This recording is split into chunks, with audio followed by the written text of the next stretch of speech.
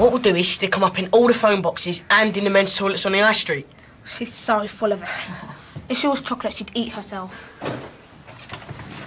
What's all this? Homework. Yeah, we needed to get online. If that's all right. Come on, if you really want to learn something, go to the library. The internet's full of outdated and inaccurate information. Before you know it, nobody will know if anything's right or wrong. Oh, cheers, Kev. We'll do that. Um, but we better be on our way. Like. All right, off you go then. Yeah. See you later. Some of us got work to do ourselves, you know. Getaway Motors, Kevin Wicks, can I help you? No, no, no, no, no, no. It goes like this, listen. That is what I was doing. No, you was in the wrong key. No, you are. Now that's another film I got to order now. All right, I'll pay off. Are you sure you know about films? Better than you do. Okay, you start for ten.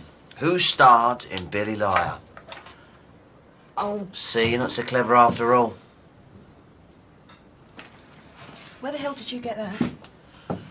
That wasn't there. That's my daughter. So it is. Don't you come the innocent with me! I'm not. Oh, What sort of freak are you?